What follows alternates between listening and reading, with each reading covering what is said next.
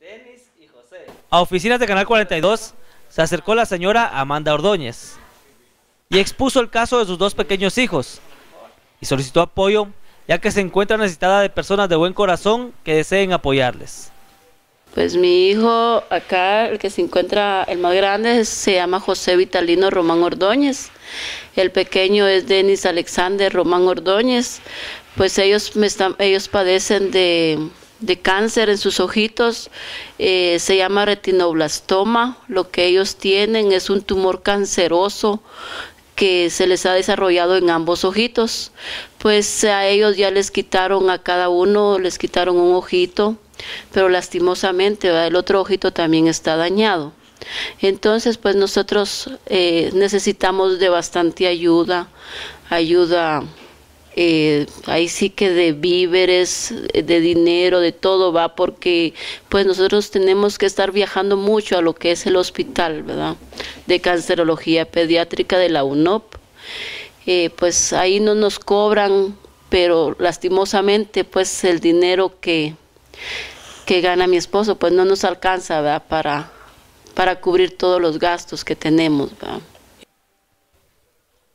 La vida normal de esta familia cambió cuando a sus dos hijos menores les diagnosticaron cáncer en los ojos, lo que los ha hecho perder la vista en uno de ellos y obligarlos a utilizar una prótesis que es muy costosa. En esta familia, conformada por seis integrantes, fue necesario dividirse los quehaceres del hogar, pues el tiempo que conlleva el trasladar a estos niños a sus terapias deja desprotegidos a los otros miembros, ya que al dedicarse a cuidar a José y a Denis, se han quedado sin comer y muchas veces sin dinero para los pasajes y así asistir a las terapias que necesitan. Pues yo sí tengo dos otros dos hijos más que mi hijo se llama Juan Manuel García Ordóñez y uno se llama Daniel Estuardo eh, Ordóñez González. Pues eh, mi hijo Juan Manuel se tuvo que hacer cargo pues de mi hijo el menor que tiene 12 años porque yo lastimosamente yo me mantengo solo en el hospital y lo estaba descuidando mucho, ¿verdad? Entonces por eso él se hizo cargo de él. Pues yo necesito la mera verdad de víveres y dinero porque como le digo, va, si necesitamos eh, de dinero para podernos, eh, ahí sí que ir al hospital y todo, va, ahí antes necesitamos comprar lo que es comida y en fin, ¿verdad? para ellos de leche, sí, es bastante ayuda.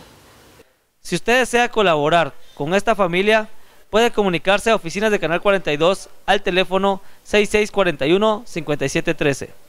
Ellos no me dan ninguna esperanza, pues, de, de, que salvarle sus ojitos, va.